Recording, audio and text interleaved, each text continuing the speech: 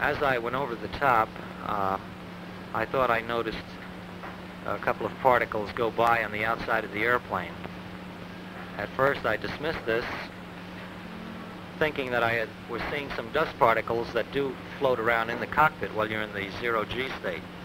However, uh, I did pay particularly close attention to it as they showed up again, and it, it impressed me initially as uh, perhaps being some uh, residue, very small, flaky objects that may have come from the uh, reaction control system firing. The peroxide, of course, generating the steam as it fires. Then, uh, to very definitely confirm my suspicion, after seeing several of these particles, perhaps three or four of them, I looked out the left windshield, and there, sitting off to the left side of the airplane, it looked to be a piece of paper about the size of my hand, just slowly turning and tumbling outside the airplane. And of course, this is quite unusual and uh, did catch my attention and registered.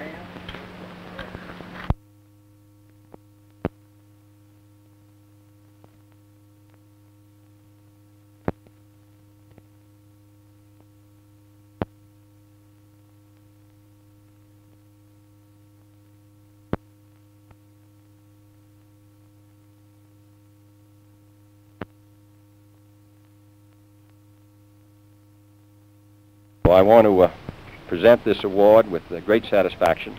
The names on it, the companies on it, the individuals who have won it, uh, uh, I'm sure are glad to have their names added to it because in so doing, uh, uh, the previous people have are honored. So we're off of this, and you can take it with you on your plane.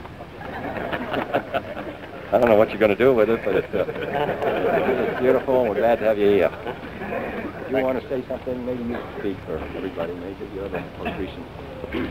Thank you, Mr. President. On behalf of all the X-15 pilots, we're very happy to accept this uh, very wonderful and great aviation award. And I think all of us here represent various branches of the service in government, industry, and the military services, which denotes a team effort. And I'm sure the gentleman with me today would agree that we accept this trophy on behalf of all those people who are not here present today, but who we think did a magnificent job in allowing us to get on with this uh, program and accomplish some of the objectives that we have achieved. So on behalf of all these people, we gratefully accept the trophy, Mr. President. Thank you.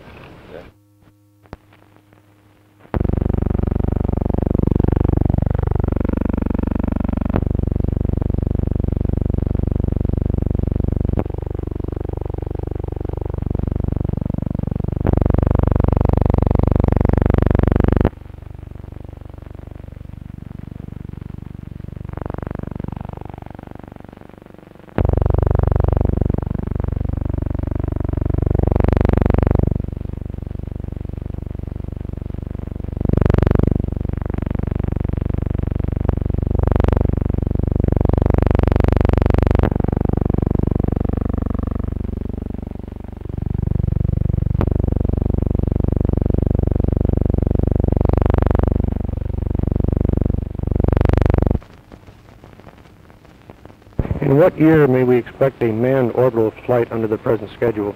I think 1965 is a is a good year. The pilots in your group are in their 30s and they're all married. Uh, is there any particular reason why, for example, a pilot of say 28 who's single uh, is not in this group? Well, of course, you have to consider that uh, um, by the time a person has a necessary experience level, education experience, and uh, and flight time experience, and uh, experience in the flight test work, then that necessarily puts him in the age bracket in the early 30s. And of course, uh, one thing that you always have to remember is that that our our uh, attention isn't completely 100% devoted to experimental flight test work. And uh, I think it's a natural thing that all of us, uh, this 32, 36, would be married. Straightforward answer, but uh, it's about the best I can come up with.